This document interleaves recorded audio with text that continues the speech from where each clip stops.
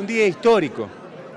Este, la verdad que es un día histórico para la fuerza policial de la...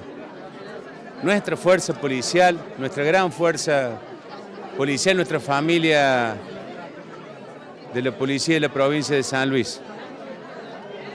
Primero porque ha firmado el gobernador dos decretos, uno reglamentando la ley que cambió el cuadro único y la otra es en lo que tiene que ver con la reubicación, reorganización de los dos nuevos cuadros existentes.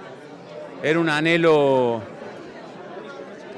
que ha solicitado mucho la fuerza y una vez más el gobierno de Alberto los contiene, los abraza, los cobija y, y nos sentimos muy orgullosos de eso, de darle a la fuerza hoy la posibilidad a los que eran auxiliares, que ya no son más auxiliares, a tener este, la planta permanente, a tener una carrera, a tener ascensos, a poder retirarse este, voluntariamente cuando, con todos los beneficios previsionales.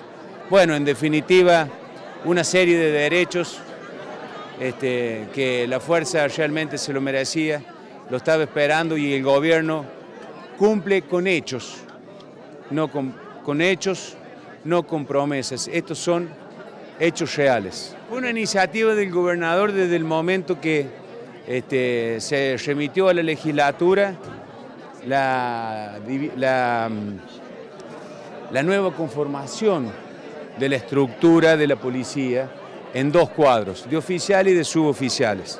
Desde ese momento, este, desde que se remitió la ley, Alberto se puso al frente de esta nueva conformación en la fuerza policial y de este otorgamiento de derechos a los efectivos de la Policía de San Luis.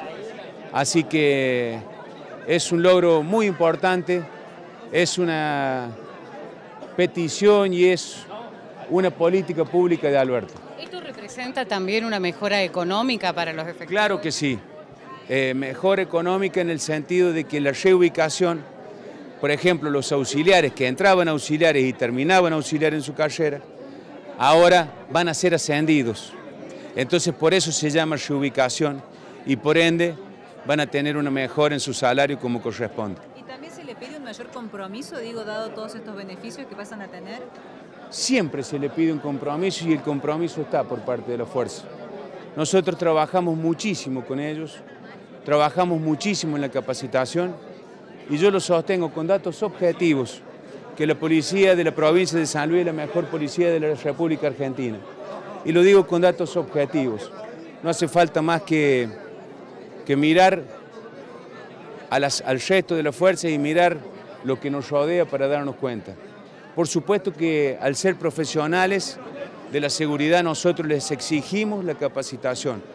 Vamos a estar trabajando muchísimo en la capacitación y en estos momentos en donde los programas económicos nacionales azotan terriblemente, generando la rotura de los tejidos sociales, la exclusión social y por ende que se dispare la inseguridad, nosotros tenemos que estar a la altura de las circunstancias y trabajar en lo que nos pide Alberto permanentemente, que es en la seguridad de los ciudadanos.